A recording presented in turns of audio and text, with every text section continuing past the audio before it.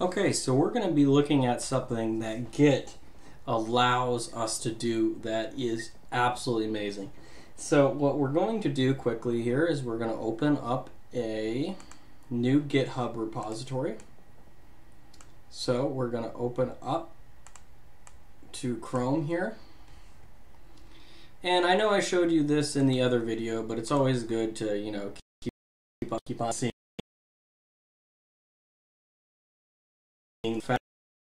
So we're going to be opening GitHub if it decides to load.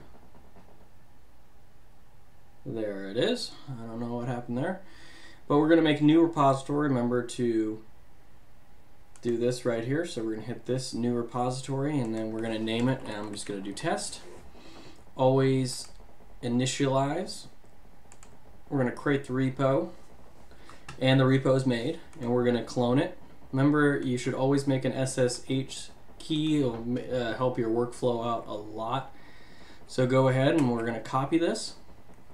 And then what we're going to do is we're going to open up the terminal.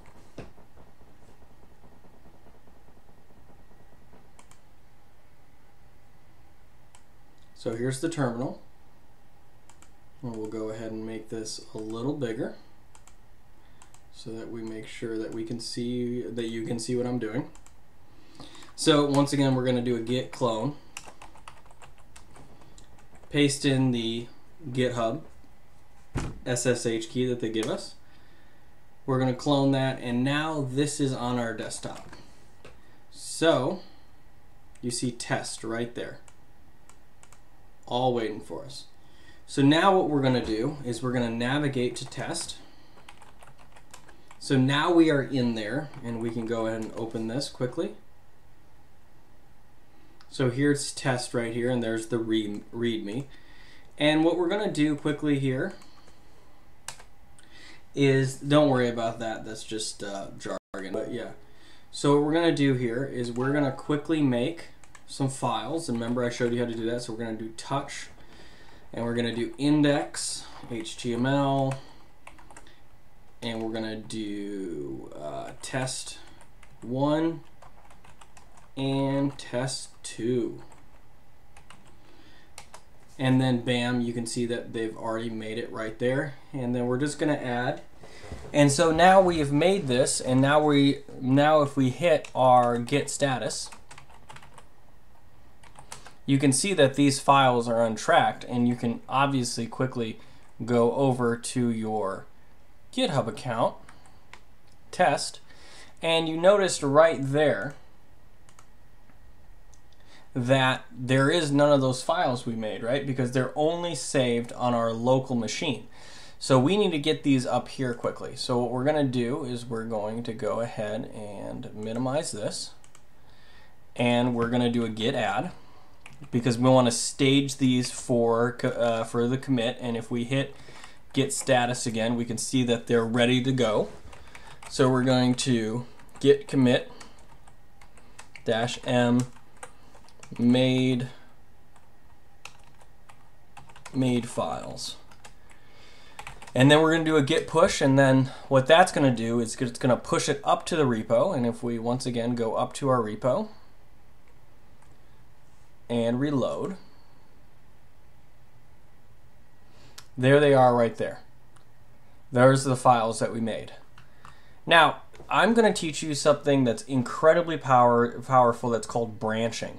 Now, if you go over here to this button right here and click right here, it's going to show you a timeline of all the commits that you made. So this is the initial one. This is when it was created. And then we go over here, and this is where we made the file. What I did right here is kind of taboo. You don't really do that. What you do is you never really manipulate the master, which is this black line right here. The master, if you go back to here, see you're on branch master. This is the master branch. You really don't want to touch that or work with that. You only want to update that by updating branches. And I'll show you what that means. So GitHub, or not just GitHub, but Git allows you to do two things extremely well. To have version control, so you can always revert back to a previous version of your code. And the biggest thing that changes our world is collaboratory coding. Um, so basically, if you go back to this file that we had here, say that you had two programmers, one worked on test one and the other one worked on test two. Instead of you just working on both of these, you can get the same repo because they're public and you could go on your local machine and then you could make your changes and then push them up to GitHub and then all your changes are saved in one spot. So it really allows quick workflow for two people to work on the same code. And that is incredibly powerful. Just a quick FYI, um, never you never want to have two people working on the same file. That's why you make two different files like we see here. So say for example, we had programmer 1 that's going to work on test 1 and we're programmer 1 and programmer 2 is somewhere else on his local machine and he git cloned it to his and now he's doing changes to this. So if we go ahead and open this,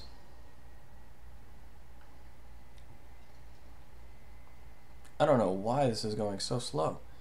Okay, it opens up to my text editor here. And obviously you see that it's empty because obviously we haven't done anything with it. Whoops, wrong click. So what we want to do is once again, we don't want to work on this file because this is master. We don't want to do that. And what we want to work on is we want to work on what's called a branch and a branch allows us to do changes to the code without actually without actually doing that. I'm actually going to open with Sublime so it's a little easier to see. So we're going to open test and we're going to open the whole folder. There we go. And then I'm going to shut down this code right here. This is another project of mine with my friend Ali and Leon. And uh, one, and so we were using GitHub right there to collaboratively work together. Um, so I'm going to open this, make this large so we can see this. So we don't want to work on master. Right now we're on master. And there's a great command called git branch. And git branch will expose all the, whoops, hit it wrong. Hit it wrong again.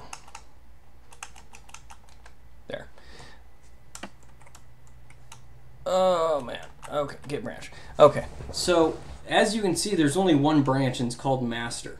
Mine is going to be green. Uh, it might be different on your machine, but it's always going to have this asterisk here. So what we want to do is we want to switch to another branch. So what we're going to do is git branch and then the name of whatever we want to call our branch. So we're going to say start test 1. So now if we run git branch again, you can see now we have two things in here. This is the master branch and this is start test one. So what we're going to do is we're going to switch over to the other one. So we're going to check out. Once again, there's tab completion.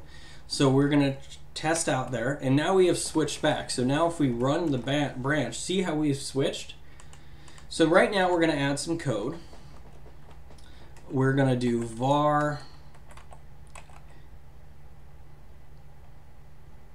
This is the right file, right? Let me make sure I'm in the right file. Close without saving. Yeah, I didn't open it. Okay, there we go. I was wondering why I didn't change colors.